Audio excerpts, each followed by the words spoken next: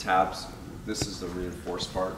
You can see the thickness of the metal up here. This is about the normal thickness. This is the thickness that we made right here.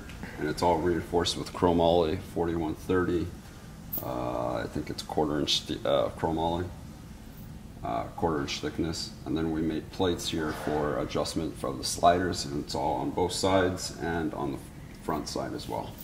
So 2011 Raptor, we got different suspension than factory, uh, reinforced spindles, uh, upper camber A-arm, um, tie rods. Uh, we've reinforced the frame on the back part here with uh, a uh, longer bolt and reinforced 12.9 bolts and then longer on the, reinforce the frame here or the lower control arm uh, points on both sides all the way around uh, custom mounted uh, Fox uh, reservoirs. Then further up the air, uh, a compressor output uh, over here. We have a transmission cooler. Top, the heat exchanger for the custom supercharger application. Um, power steering cooler.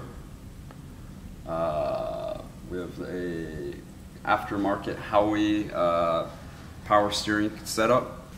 We have Fox 3.0 coilovers here, reinforced um, chassis subframe up here. A picture of it or video of it. All custom uh, rear uh, leaf springs, Deavers. Uh, we have a uh, Fox can uh, hydraulic bump stops up here. Custom Borla exhaust with uh, stainless works headers, custom transmission, heat pan, all wrapped.